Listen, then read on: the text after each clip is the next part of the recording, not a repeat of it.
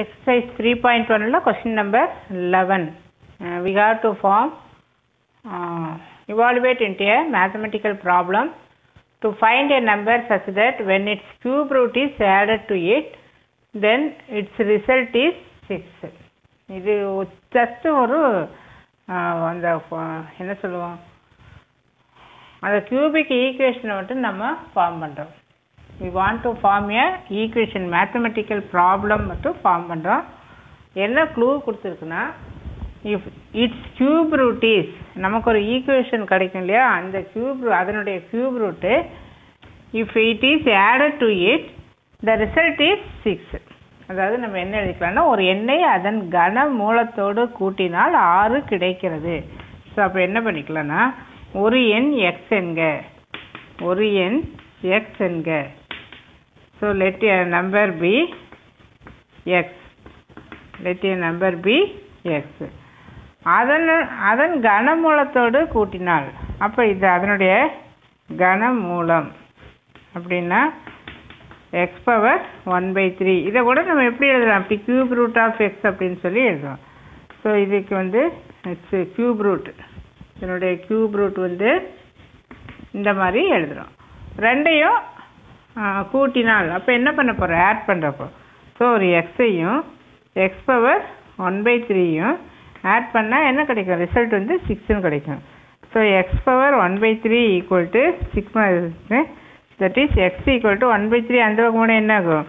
Six minus x whole cube இப்போ we want to use a minus b whole cube ஃபார்முலாவை use பண்ணோம்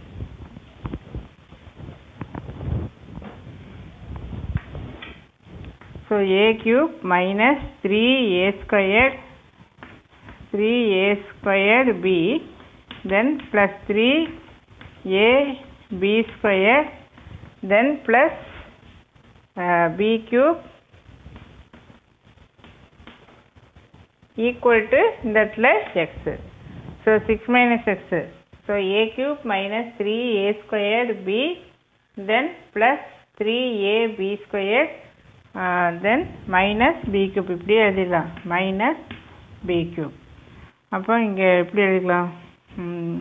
Two one six minus thirty six into இங்கே எழுதணும்? Thirty six into three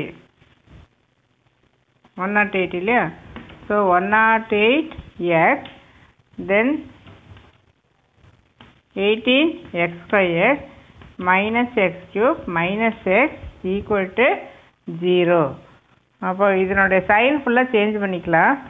Plus x cube then minus eighteen x square then plus eight one naught eight x then plus x then minus two one six equal to zero so இதுதான் வந்து eighteen x square then one naught nine x minus two one six equal to zero so this is the answer so அந்த என்ன கொடுக்கப்பட்ட அந்த டேட்டாவை use பண்ணி ஒரு mathematical problem form பண்ணுறதுக்கு உரிய ஒரு ஈக்குவேஷன் வந்து கிடச்சிருக்கு.